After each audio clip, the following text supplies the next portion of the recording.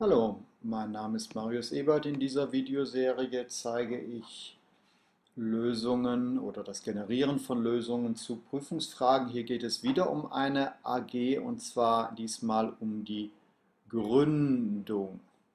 Nun, zunächst einmal ganz grundsätzlich und einfach gefragt, ist das eher einfach oder schwer? Nun, das ist eher ein bisschen schwieriger, vor allem wenn wir es vergleichen mit einer Einzelunternehmung. Die Aktiengesellschaft ist eine Kapitalgesellschaft, da steht also das Kapital im Vordergrund.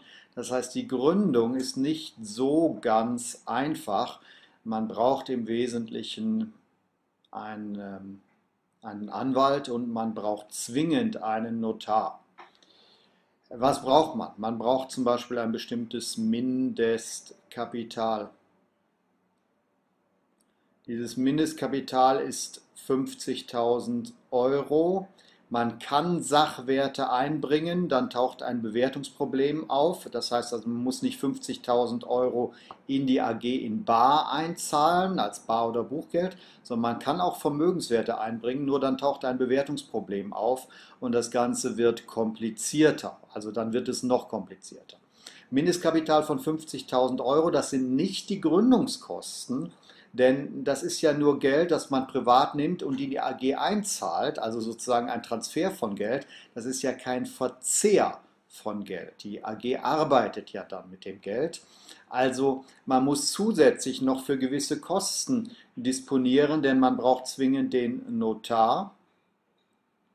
Einmal, weil, man, ähm, weil die AG eine Satzung braucht, denn der Notar muss die Satzung notariell beurkunden und dann muss die AG auch eingetragen sein im Handelsregister. Also die eigentliche Gründung erfolgt durch die Eintragung im Handelsregister Abteilung B, dort wo die Kapitalgesellschaften stehen, wird die AG eingetragen und ins Handelsregister kommt man nur über einen Notar. Das heißt also, man braucht zwingend für die Gründung einen Notar. Es geht nicht ohne.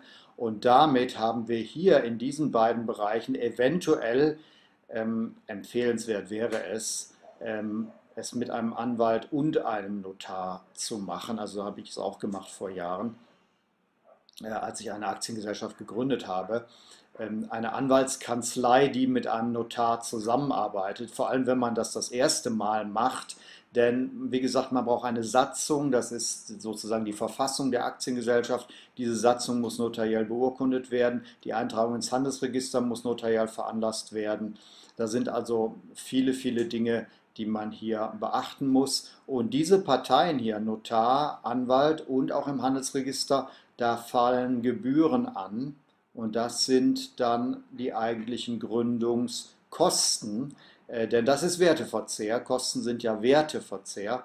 Und hier muss man also das zusätzlich zu dem Mindestkapital durchaus noch kalkulieren. Na, dann braucht die AG natürlich einen Aufsichtsrat. Ja, also für die Gründung muss man also Aufsichtsratsmitglieder bestimmen. Man braucht einen Aufsichtsrat und man braucht einen Vorstand, also man braucht die Organe und man braucht natürlich die Aktionäre, also man braucht die Organe der Aktiengesellschaft, nämlich Vorstand, Aufsichtsrat und die Hauptversammlung, also die Aktionäre. Der Hauptversammlung ist die Versammlung der Aktionäre. Also man muss sich auch überlegen, wer kommt in den Aufsichtsrat und denn wer im Vorstand ist, darf nicht gleichzeitig im Aufsichtsrat sein, aus naheliegenden Gründen. Also auch das muss man sich überlegen hier bei der Gründung. Okay, das soll genügen.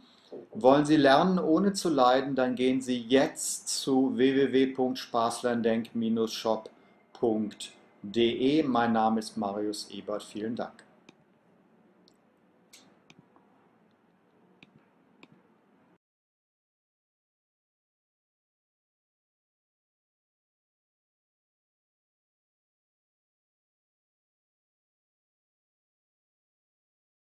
Im Übrigen glaube ich, dass wer einen Fernlehrgang bucht, sich durch schöne Werbebilder hat täuschen lassen.